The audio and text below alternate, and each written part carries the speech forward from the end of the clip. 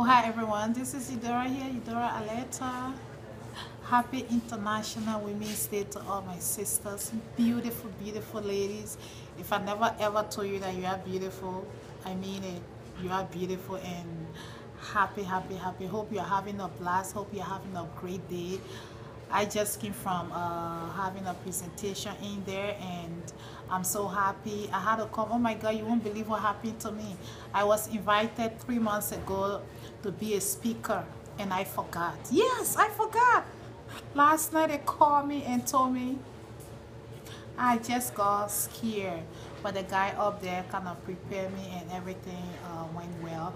Uh, I just want to take this time actually to encourage you to kind of um, say to you you are beautiful you are awesome you know God created you in a secret place. Yes the reason why he created you in a secret place is to be able to put all those wonderful qualities in you so you just need to reach out and get it out. Yes you can actually get it out and be a a blessing to another sister.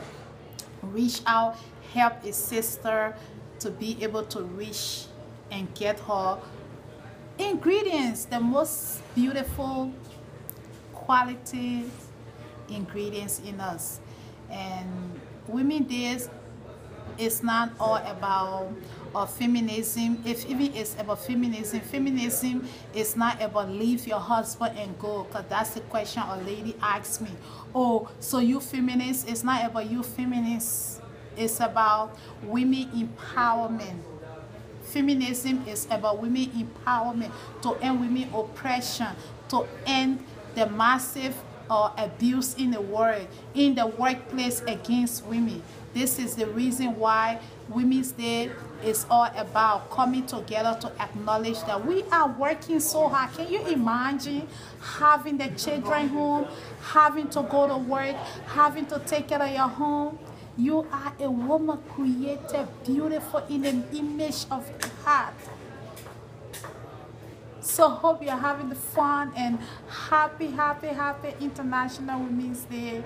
And God bless you. Go out, have fun. And not because you have children it means this is the end of your life you can still do great things those things that you have always wanted to do you can still do them you can you are able to get out and still be who you want to be, your dreams, your goal, your visions. You can still go about it. I said visions because I know you are thinking about so many things and those thoughts in your head, you can do them. You can be them. You can be whatever you want to be. Great power. Beautiful sisters, young, share your secret.